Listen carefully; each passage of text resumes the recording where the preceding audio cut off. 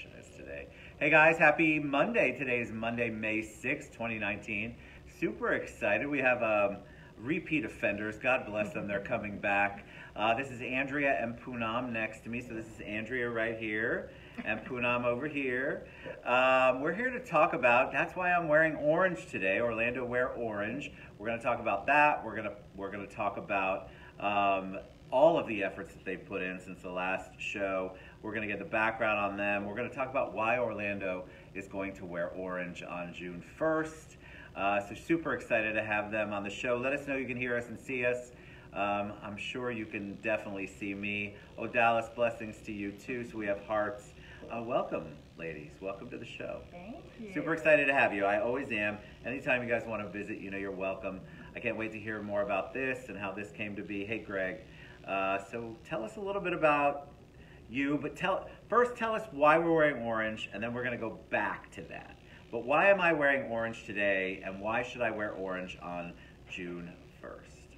So since I have the Wear Orange shirt, I'll, I'll answer that question. Please. But um, Wear Orange is a really amazing campaign that was started by um, some friends of a girl named Hadiya Pendleton, who was in Chicago when she was shot and killed.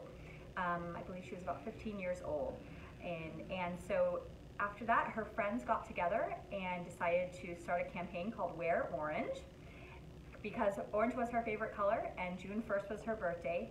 And so in honor of her, they, and now along with Moms Demand Action, have partnered in the last many years to uh, hold family-friendly, open events where people can come together and talk about gun violence and talk about um, the strides that we're making towards helping for gun safety and also honor the survivors um, that have been affected by gun violence. So we're wearing orange to bring that to light. National Gun Violence Awareness Day, June 1st, and to um, get together and, as a community from all sides, all walks of life. And just to not get it confused, I think that a lot, a lot of the country is, are actually doing it on June 7th, the Mhm. following weekend, but um, we have another event that we're participating in, the um, community Rainbow Run, right? That was yes. the. So yeah, we'll, yeah. we'll, be there. Um, amazing. But just that, so if you see other events going on and saying, oh, everyone seems to be doing on this other weekend. Well, here in Orlando, we're doing it on June 1st so that we can um, that we can participate in that. All right. So we're going to work backwards. Tell us about Mom Moms Demand Action. All right. That's that's me. that's um, Andrea. so I um, moved to Orlando in 20. 15 and I didn't know anybody, um, but that's a whole nother story. Um, so I basically I had kind of gotten involved with this group called Moms Demand Action online when I was still living in um, New Jersey at the time. Oh, that's right. What part of Jersey again? I, well, I was in Bloomfield. I, I, I don't like this. I mean, I basically grew. I lived in the city for many years, and then finally moved out and bought a house out in, in Jersey. I was born in Bergen County. Oh, okay, yeah, yeah, no. Yeah, I gotcha. Essex. Essex. Essex. Yeah, we were just you know on the quick line out out so we can get into the city quickly. So it was, it was good. Um, but yeah, so I uh, so so the Sandy Hook shooting happened in Newtown, Connecticut, in 2012, and I was just devastated by that. I my daughter was two at the time. Um, I was still living in New York. I was actually doing a show in the city, and I was in a dressing room with a bunch of um, girls, women, and um, we were literally reading the story as we're like getting ready for show and just sobbing, all of us. And it was just it was just really devastating. And I just started kind of becoming more aware. I just be, started getting on my radar, just the epidemic of gun violence and that, that, that sort of thing. And so as that played out, I eventually found a group that was started by Shannon Watts um, called Moms Demand Action for Gun Sense in America. So I got involved online, you know, did some things here or there, but didn't didn't really do anything too. Um, it wasn't too active in it. Um, so when I moved here, I actually got a text message saying that there was going to be a meeting here in Orlando.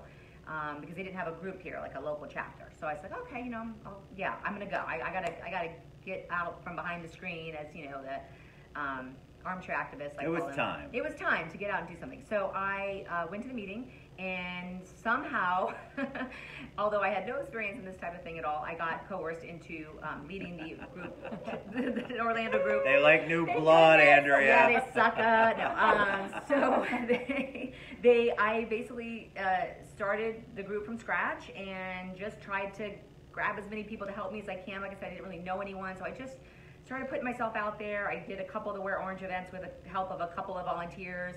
Um, sort of tried to make it happen. And then as the group started growing, and, and like Punam and some other wonderful people came on board, we've able been able to grow the Wear Orange event every year. Um, but yeah, that's how I basically got started, and it was just something I felt like I needed to get off the sidelines and do something. And and um, you know, it's one of those things where if no one else is going to do it, sometimes you just got to step up and do it, whether you know what you're doing or not. And um, because it just mattered that much to me, and I was just I was just heartbroken so, by you know all of the. So talk about that though. I mean, talk about how uh, what you all actually do. So we've got. I know that uh, I think a lot of people they watch the show or they see the events like Orlando Wear Orange, and then they wonder what happens during the rest of the year. Yep. So talk about the activism, talk about the advocacy that you all do, and what kind of work goes on behind the scenes, and what you're trying to accomplish. Well, I mean, a lot of it is legislative. So we were, you know, we had our big advocacy day uh, in uh, Tallahassee this year again. We had, and we have multiplied in numbers. We keep just growing and growing. Um, this year we had nearly 500 people, 500 people from around the state came to Tallahassee in their wow. red mom shirt. I mean, it was huge because the year before it had been 200. You're growing. We were growing exponentially, so that's amazing. Our group, the amount of local groups we have around the state are growing. Um, so that's our main focus is because we want, you know, we feel like there needs to be a background check on every single gun sale. We feel that there are the, the red flag laws um, uh, need to be implemented, and, and, think, and some of the stuff that did actually happen after.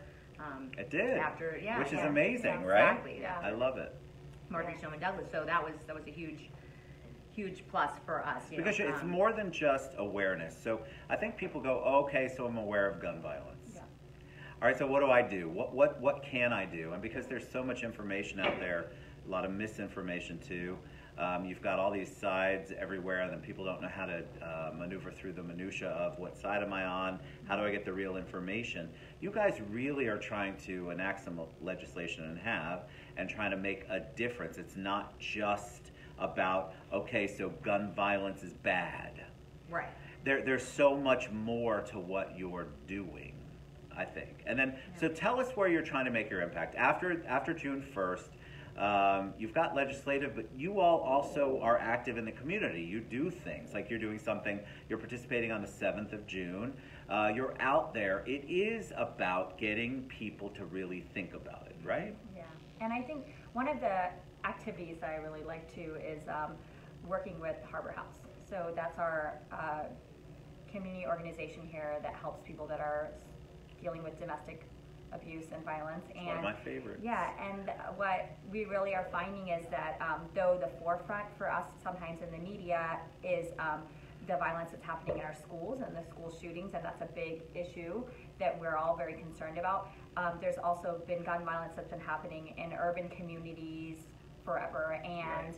with people that are dealing with domestic violence, that they're so many times more likely to be um, affected and be a victim of, of gun violence um, or a survivor of that. And so, one thing that's nice is we try to partner with those organizations so that we can learn more about what can be done when it comes to common sense gun laws and when it comes to awareness and when it comes to getting that word out for help for people. And um, we recently went there and were able to just meet with some of the kids and do some craft activities with them and give the parents that were there a little bit of free time, a little bit of positive time sure. with their with their families. And so you really, when you get to do those types of things, you get to see the face of survivors and realize um, how close it is to us and how easily you could be in that situation.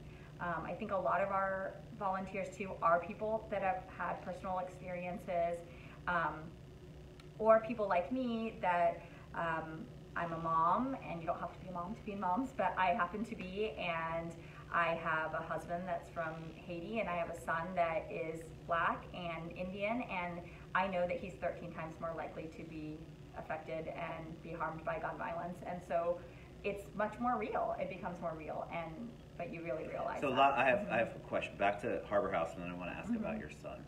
Um, so the reason why this stuff is important, it's not just so that the kids play arts and crafts.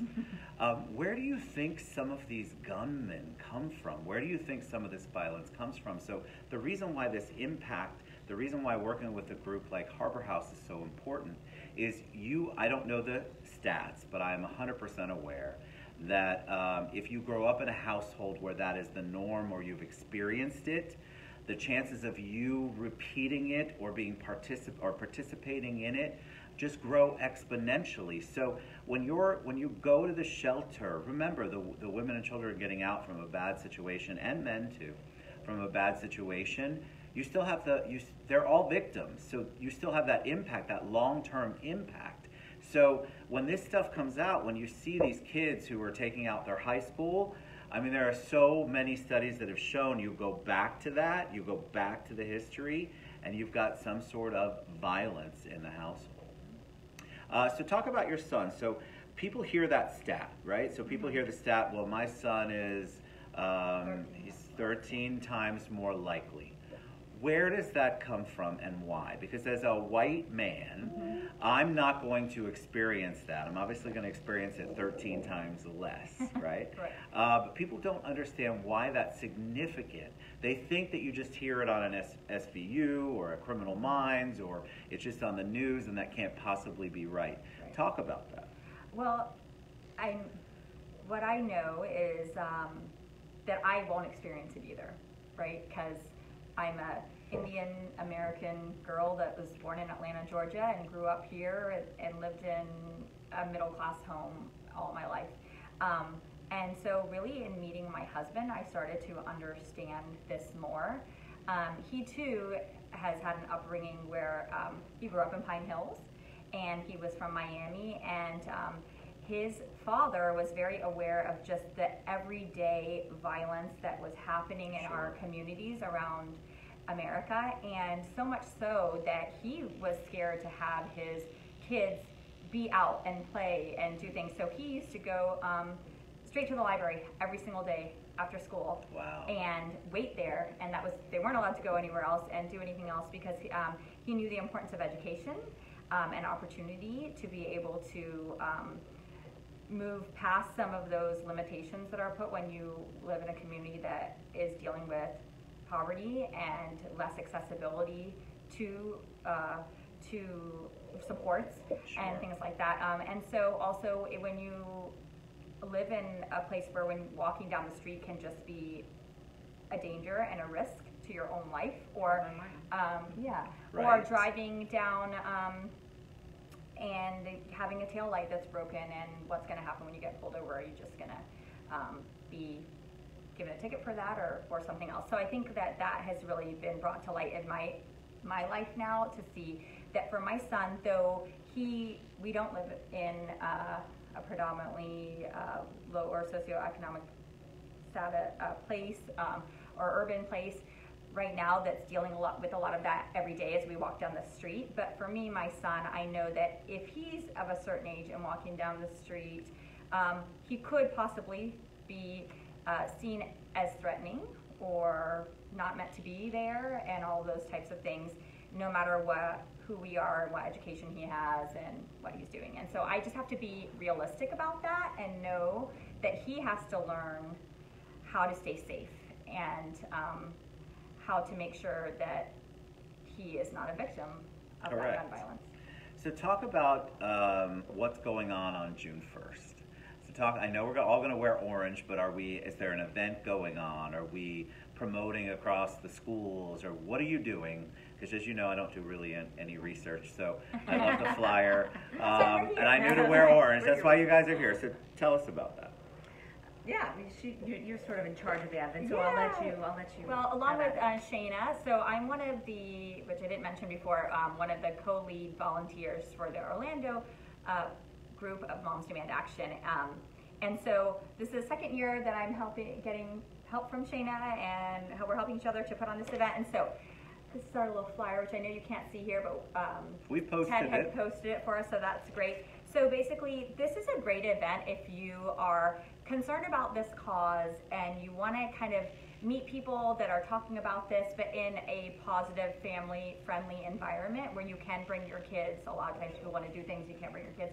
So this is great. It's at, at Gaston Edwards Park on June 1st from 10 a.m. to 12 p.m. And like I said, it's a free, family friendly event that is really focused on celebrating some of the strides that have been made and honoring survivors Um, so we'll do that by having a DJ and having some speakers. Uh, we have Brandon Wolf coming from the Dru Project and um, awesome. somebody from uh, the Orlando Sheriff's Department and uh, some other speakers that, that really know what's going on in our community. So we'll be able to hear from them, but also student, kids will be able to be in the photo booth and uh, bounce houses, and there will be food trucks and arts and crafts. So we can kind of gather as a community and say, hey, we are from all different walks of life, all different spectrums, and we kind of believe in this, and we want to talk about what we can do. Um, so if you want to come to that, again, Saturday, June 1st, 10 Is that the park near Baldwin Park, right? So- No? No, this Where's is this um, one? on North Orange. So right by the Hammered Lamb, North across the street from Oh, it. yes, I love that park. It's right, Yeah. yeah, it's right on, yeah, it's on Orange, yeah, across from Hammered Lamb. Hammered Lamb. Right, yeah, so you can come there, you can. Next to Mesa 21. Exactly, right Yes. next to Mesa 21. We'll be right there. Um, and we- so we would love to have you. And if you can't come, there's also, um, if you search the event on Facebook, there's a public event, Orlando Wear Orange 2019. You can also text 64433. You can text events to 64433. Um, what you can find there is we have other things going on, like a really amazing silent auction. So say you can't come to the event, or you can, but you want to support the cause, all of the proceeds will go back to the event. Wait, so 64433, you can, that gives you access to the events, it tells you about it, and then talk about the silent auction, because this audience is a big silent Uh-huh. auction group. So Yeah, where can they go to look up that if they can't make it to the event? Right. Yes, exactly. So 64433 is the number for Moms Demand Action. So if you want to get involved in general, um, you can text READY uh, to 64433 or events for to find out about the specific event. But um, if you also search on Facebook, if you're here, we know you have a Facebook account. So That is true. check uh, Orlando. Who is Beth Orange. Rothwell? She must work with you guys. Yes. She's awesome. I, everything she, everything we talk about, it. she's like Aren't on it. just- Aren't you working? Yay, Beth! Beth, you're amazing. However, whatever you're She doing. She does our social media for the, the mom. You're She's awesome. Yeah. You're awesome. She's on it. So, Andrew, yeah. you've been so quiet. Well, I, well, I don't know. It just sort of, this is how it's flowed. I don't, I don't know. How is it? Does it become for you two? Does it become sometimes? Uh, obviously, you have a passion for it, but do you? It, does it become overwhelming sometimes? Is there so much work to do, and every time you make a step forward, you've got some craziness in the news that just is heartbreaking for all of us. Yeah, but you know what? I mean, well, I have a couple things to say about that. The first one is that, yes, to all that, um, it, it can be absolutely heartbreaking. I mean, especially when you get you get Pulse and then you get Marjory Stoneman Douglas, and you're just like, oh my! And then of course you're hearing news about, you know, um, Las Vegas, and the, I mean, I remember because you know, for the first couple of years, I, I was the chapter lead for about two and a half years, in the chapter lead, the, the local group lead here in Orlando for about two and a half years. I've actually since passed it on to um, two very wonderful volunteers, Adrian and Danielle, who are now co-leads, because after two and a half years, uh, it, it, it did become a little bit much for me um, to do and try to balance everything. So I Sure. said, you know, I'm going to step back, let these, I have this wonderful team of people that are on board now and things are running kind of smoothly. I said, have at it. They they're amazing. So I've just been able to show up whenever I can show up, and it's been awesome. So Like I still am very involved and and do everything that I possibly can. But then I'm also um, this issue has gotten me um, very involved, you know, interested in politics in general. So I actually um, I'm uh, working for uh, Commissioner Mayra Uribe as a uh, part-time aide Are for her. you? Congratulations. So just trying to learn a little bit about how government works, local government, and things like that. So I'm just sort of um, putting putting everything out there and seeing. I'm not sure exactly what direction. I'm Because going once in, you but- get that activism and advocacy in your Yeah, blood, yeah. it's very hard to step back completely. yes. You have to figure out how to progress. right, and where do where do and you where fit to in go, the- and what's the impact you can make. Right, exactly. So I'm I'm feeling out, out some different things, and um, but still, just this is this is a cause that obviously is just really near and dear. So I just I keep keep going with it, and um, and then doing that as well, and then you know just trying to branch out and get involved in other issues that are important to me as well. But um, but yeah, it can it can be it can be because we're all volunteers. You know, we. Uh, People don't a- you know, we all have understand that. families and jobs and, and things like that. So um, the, the kind of commitment that my you know this this group of women have, I'm just always astounded by. I'm like, you know, some of them, it's just it's amazing. I, I love and anybody who's in advocacy or activism. I think people do think, well, God, they must be paid. Look, there are some high paid people. I get it, right? We're not one of them. They're not one of them. And most people who, well, I'd say everybody who comes on the show, I've never had a paid activist or advocate on the show. I'd be fascinated to interview them, though. um, but I think it's so important for you all to know that when people are out there and they're putting they're putting their life into this mission, into this work. They're passionate about it. We have to be respectful of it. And I'm sure you guys get hit with a lot of stuff sometimes where it's not so so respectful. Uh, social media is a blessing in some ways because it's certainly uh, with videos and stuff, it's brought the forefront to the things that uh, our urban communities have been talking about for a long time which is the violence against them and so much stuff that goes on. It's been a blessing in that way, but it can also be a curse. It can be very challenging because you have people, it's social media, you have people who are opinionated and go, you guys are idiots for this. I've seen it, not just on, not on your page, but in general. Yeah. Why would you do this? What is this going to do? Our country, Amendment 2, I don't even want to get into that right, Right. now. But you know, you have that whole discussion, and instead of having an adult cons- uh, discussion, you get into this place where you're like, okay, well, I can't respond to that. I You're learned that. It, it took me a, a, couple months of sort of adjust, like you know, where you want to get into it with everybody, and then I was like, this is this is what's not productive. Me getting out there, putting on these events, you know, going up to Tallahassee, that's productive, you know. But sitting and arguing with some person, It's very hard because you take it not- so personally. You Yeah, take you the issues personal, Yeah. and then you're like, why are you attacking me? Yeah. Social media can be a very hard place, but what you're saying, Andrea, is you just have to step back. Remember, that person, I think you think they represent what everybody's thinking, but they don't. And They're so just the let them, they're the loudest Right. person in the room. You know those people, trust me.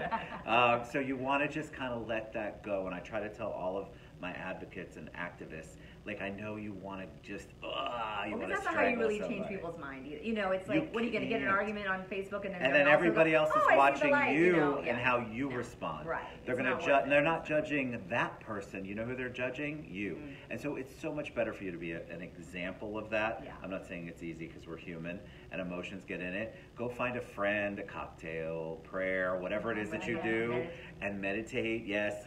And then let it go and remember you're doing the right thing, which is what you guys are doing. Yeah, rather focus the energy in that positive way. And there, it, we all need it. There, there, there's, there's, there's so many positive things that you all are doing, and so you have to be able to focus that. Right. Um, all right. So, am I missing anything? We've got June first. Any uh, parting words of wisdom for them? Anything you want to share before we head out? We're going to share again the June first event uh, at Gaston Edwards Park, right? Correct. Um, and we're going to share that and what you can do and how you get involved in Moms Demand Action, how you can get involved in Orlando Wear Orange, whatever it is that you want to get involved with. I encourage you to get involved. Uh, so, anything you want to share with them before we head out? Well, just quickly, that the one thing that um, we're still pushing right now, which is unfortunately probably not going to be successful, but um, but the uh, SB 7030 uh, recently passed, and basically it, it is um, allowing for the opt, uh, school districts to opt in to arming teachers, which we are very against. Uh, we are we support the SRO, I am so against that are in the that. schools, and um, you know that's their job. Their job. They're police officers. They're there to protect the, the kids and the teachers and you That know passed? admin. Okay, talk up just for a second. So my Yeah. wife's a teacher. Talk, so that passed. It passed.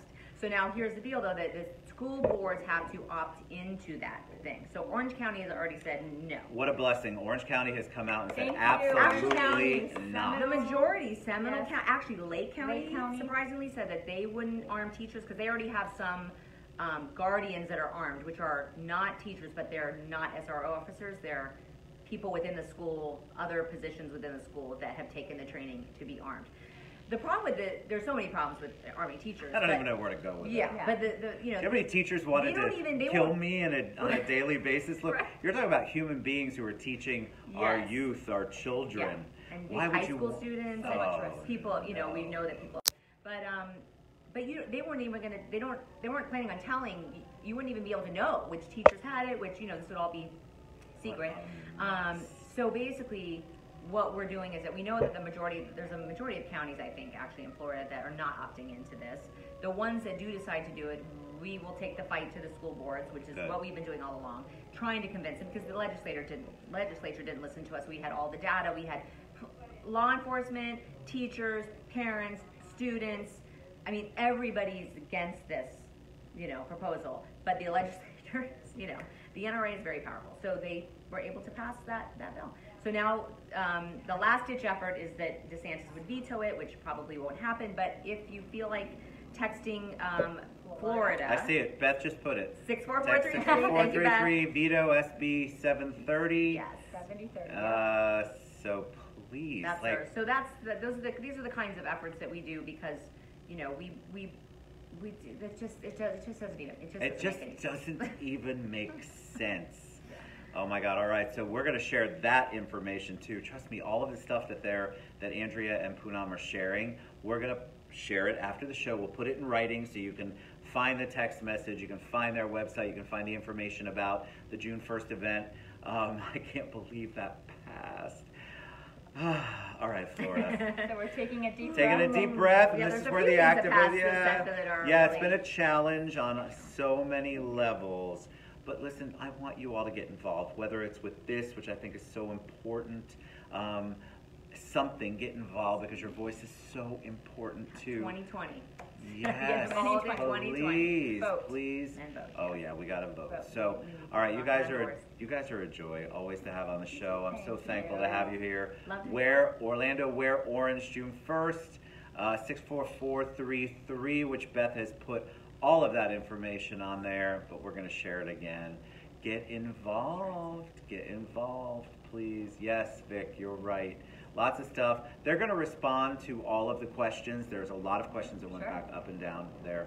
Uh, after the show, um, ask a million, please. We're going to share it everywhere, so definitely reach out to them if you have questions or you want to get involved in Moms Demand Action or um, Orange uh, Orlando Wear Orange Yep, Day on June orange. 1st. All right, we love you guys. Mwah. Thank you guys for being on here. My pleasure. Get involved, people. It's important. So important. Love you.